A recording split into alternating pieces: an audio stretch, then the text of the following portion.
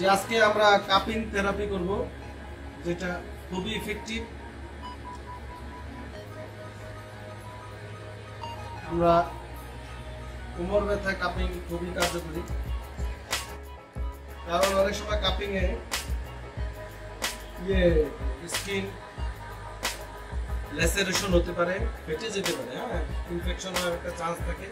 এই জন্য আমরা এটাকে স্কিনকে যতটুকু সম্ভব আমরা ডিসইনফেকশন করে নিতেছি?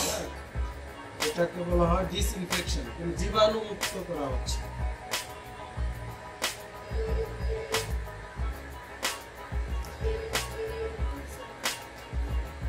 পেন কোথায় বিষয়? আপনি না, আমি বলি এই পাশে হ্যাঁ? এই জায়গায়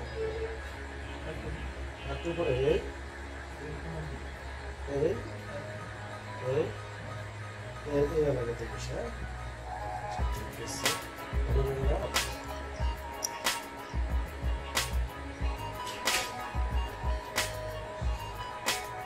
এটাকে দেখ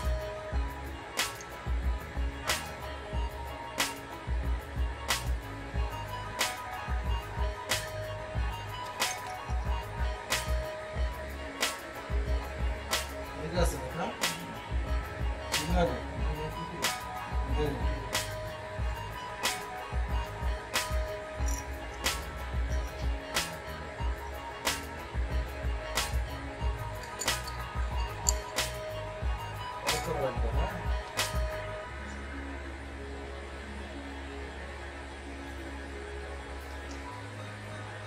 এখানে বিভিন্ন টাইপের কাপ ইউজ করেছি।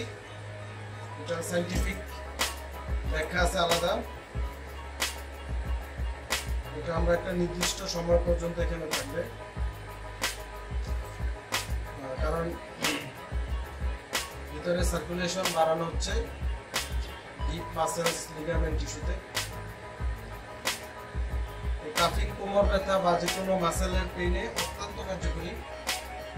আর শুধু কাফিং করলেই রুগী ভালো হবে না, এখানে কম্বাইন থেরাপি দিতে হবে। আমরা এই রুগীকে বিভিন্ন প্রকার ইলেকট্রিক থেরাপি দিচ্ছি।